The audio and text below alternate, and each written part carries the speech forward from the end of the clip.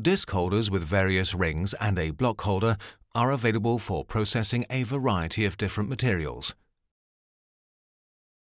This chapter shows you how to load a holder with material blanks. Loading the material holder. Place the disc in the disc holder and fix the disc in place with the outer ring. Align the RFID label of the disc in such a way that it's positioned centrally in the recess on the disc holder. Use a 0.45 Newton-meter torque wrench for zirconium oxide and wax.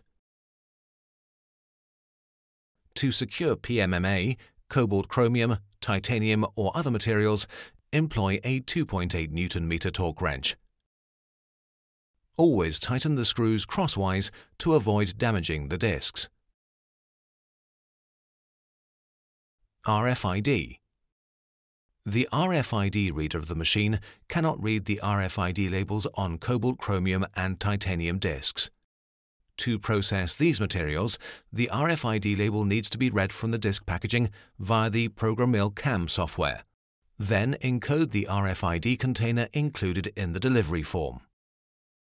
Position the RFID container on the disc holder. Place the disc into the disc holder. Secure the disc in place with the outer ring. Use the 2.8 Newton meter torque wrench and tighten the screws crosswise. Digital denture. Place the disc into the disc holder. Align the disc in such a way that the RFID label is positioned centrally in the recess of the disc holder. Insert ring 1. Use the 2.8 Newton meter torque wrench and tighten the screws crosswise. Perform the first milling procedure, then remove the disc. Reinsert the disc for the second milling procedure and secure it in place as before, this time using ring 2. IPS e.max the individual blocks do not carry an RFID label. This means that the information about the blocks cannot be read directly into the machine with the RFID reader. To process the blocks, the RFID label needs to be read from the packaging via the PrograMill CAM software. Then encode the RFID container included in the delivery form.